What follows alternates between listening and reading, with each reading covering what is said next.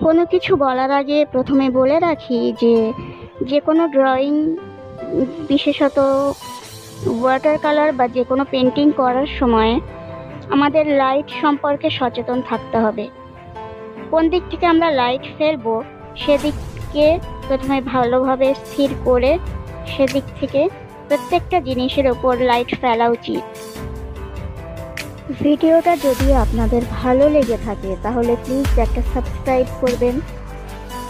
এবং যদি ভালো লেগে না থাকে, তাহলে প্লিজ ডিসলাইক করবেন।